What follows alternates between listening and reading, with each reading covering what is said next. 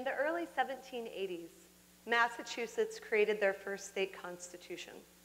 Now, this constitution was created just years after the Declaration of Independence, and you can tell because it was inspired by it. In fact, in the first words that you'll read, all men are born free and equal. Now, at this time, it was the tradition, the way that you got this information out, this legislation, these laws, is that you would read it in the town square. When it was read in the town square one day, there's an enslaved woman by the name of Mum Bet who's walking through that town square. And in her enslaved state, she hears these words that everyone in Massachusetts is born free and equal. She's confused, obviously. But instead of living with said confusion, she takes it to court.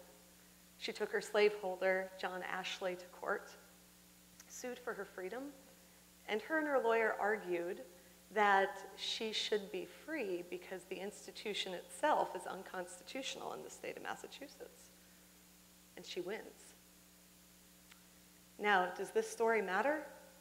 It might not if young girls don't hear about it. Currently, less than 10% of the history that's taught in American history classrooms is about women.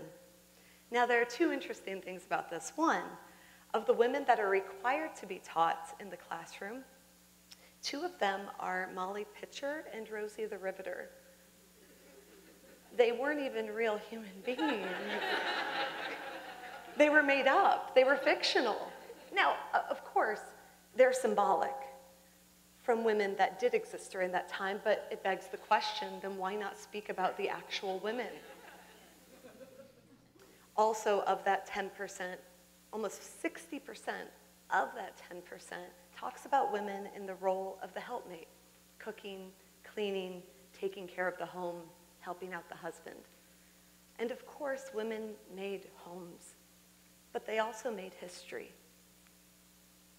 As we know, stories matter. They're incredibly important. We share them with loved ones, we laugh about them, they inspire us, and they provide meaning in our lives. Now, there's this whole body of research that suggests that if you're not a part of the information that you consume, whether it's what you watch or what you read in the classroom, it suggests that you're not as important. You consider yourself not as important or capable or competent. Currently, it takes a woman to hear about six times, you should run for political office, before she starts to think, I should run for political office. Less women negotiate salaries, and even less women will apply for a job if they don't believe that they have 100% of the qualifications. Maybe if young girls start to see themselves in the pages of yesterday, they'll believe in their capacity for all of their tomorrows. I started a nonprofit called Remember the Ladies. And one of the things that we focus on doing is positioning teachers and school districts to incorporate more women's history into American history classrooms because you cannot be what you cannot see. And I think it's important for young girls and young boys to see the capacity of women. Now, we do this by supplementing textbooks and supplementing current lesson plans because this isn't about rewriting history. Um, instead, it's about expanding the lens, the director's cut, if you will.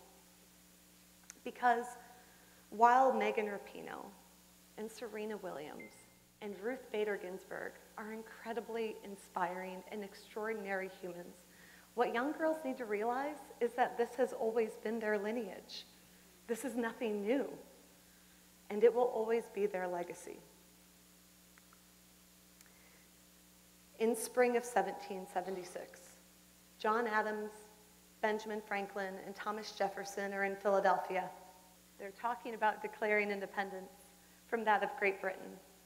And they're not simply talking about separating from Great Britain, but instead they are suggesting that we should declare our independence because we believe in this set of principles that all men are created equal and have certain inalienable rights, and some of those are life, liberty, and the pursuit of happiness. That regardless of your bloodline, regardless of who your parents were, regardless of where you were born into the society, that you are indeed equal.